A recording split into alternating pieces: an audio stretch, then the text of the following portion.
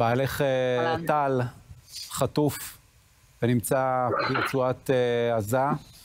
קודם כל, ספרי לנו על אה, נכון. טל. אלה.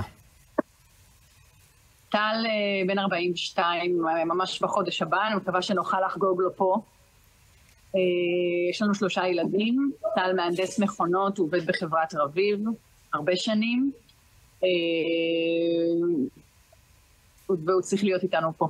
כן. זה, זה מקומו. וקודם כל, לראות אותך מחייכת ומאוד מאוד, מאוד מאוד אופטימית, גם אחרי המציאות הבלתי נתפסת הזאת, אה, שאת כראיה וכאם מתמודדת איתה כבר 40 אה, ימים, כשאיזה סימן חיים, אם בכלל, היה ממנו?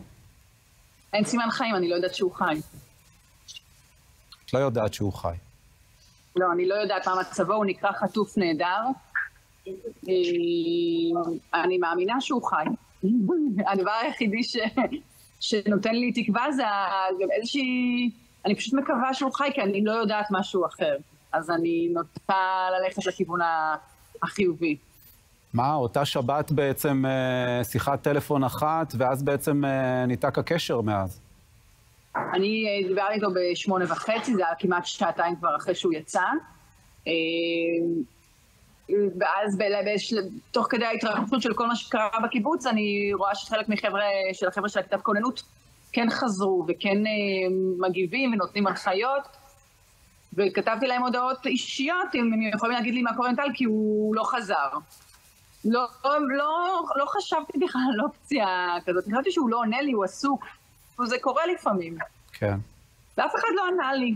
ואז אה, בסביבות 12 שלחתי לו וואטסאפ וראיתי שיש וי אחד, ואז פתאום הבנתי שאולי יכול היה לקרות משהו. אה, ואז בעצם אה, התהפך לי כל היום. מלבד הדאגה של שיקרה לנו משהו בממ"ד, אז גם הדאגה לטל.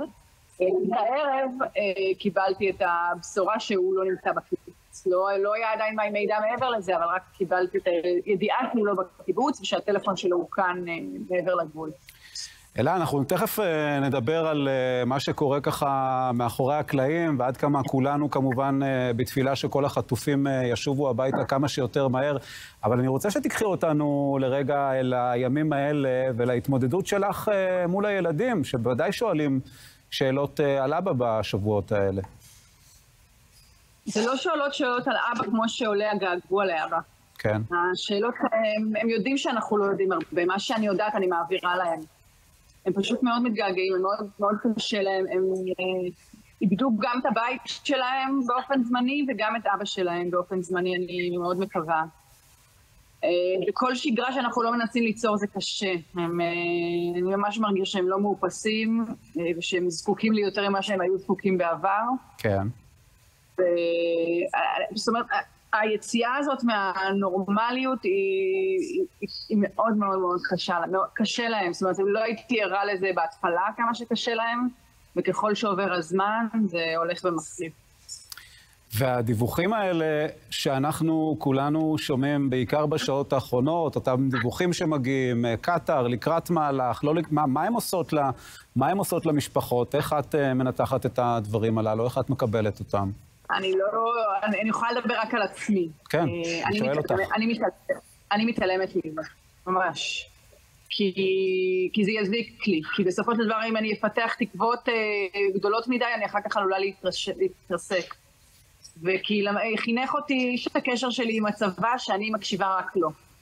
ואני משתדלת לעשות את זה, כי, כי, כי פשוט זה, זה יפגע בי, וזה הדרך שלי לשמור על עצמי ועל המשפחה. פשוט, אני, אני קוראת, אני שומעת, אי אפשר שלא, אצלנו במדינה אנחנו מחוברים. כן. אבל אני פשוט קוראת את זה כמו אזרח שאין לו שום קשר לחטוף. אה, אני פשוט מתנתקת, כי אחרת יהיה לי מאוד מאוד קשה. אני כן אגיד, אני סומכת על הצבא. אני באמת סומכת על הצבא, אני באמת מאמינה שנעשים מאמצים מאוד גדולים, צבאיים, כדי uh, לעשות את מה שצריך לעשות. אלה, את אומרת שאת מתנתקת, אבל זה מעניין, כי, כי הדבר הזה הוא הרי חלק בלתי נפרד מהמאבק המאוד מאוד חשוב שהמשפחות של החטופים, ובהם גם אתם כמובן, מנהלות בימים האלה, ואנחנו נמצאים גם, צריך לומר, ביום השני לאותה צעדה שיצאה אתמול מתל אביב, ותסתיים במוצאי שבת אה, בירושלים, באותה עצרת שהמשפחות אה, צפויות אה, לערוך שם. אז אפשר באמת להתנתק? אני מתנתקת רגשית. לא, לא, לא מתנתקת ברמת האינפורמציה, אני מתנתקת. רגשית. אני עושה מה שצריך, אני... ברור שצריך לשחרר את כל החטופים, וזה, וזה הפתרון היחידי. אבל אני לא לוקחת את זה למקום של אוי, אם יקרה ככה, כי יכולים להיות המון תרחישים שונים, טובים יותר, טובים פחות. אני פשוט נשארת מאחורי אותה חזית שצריך לשחרר את כל החטופים ביחד.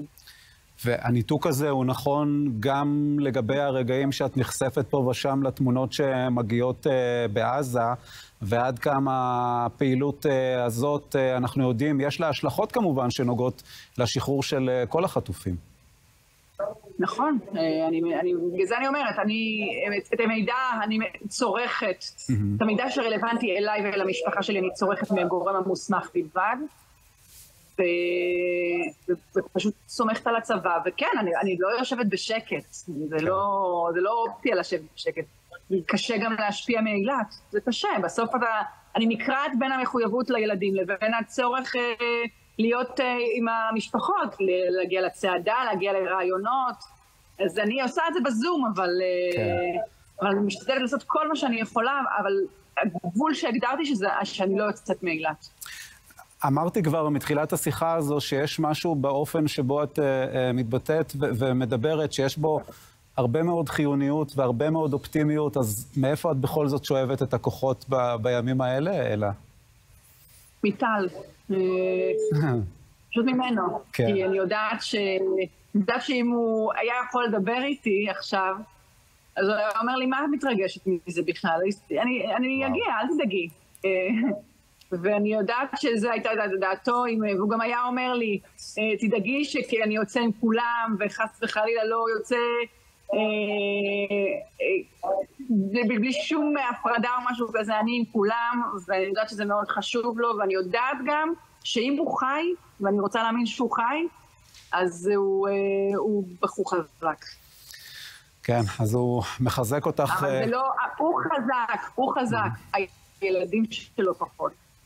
וטל צריך להשתחרר, כי הילדים שלו צריכים אותו. כן, גם טל. והילדים שלו אחד, והילדים שבדרך. וכל אחד מהחטופים כמובן, ונקווה שתזכי לחבק ולראות אותו מקרוב כמה שיותר מהר, ואני רוצה להודות לך מאוד שדיברת איתנו. תודה, תודה רבה לך, אלה. תודה. תודה. להתראות.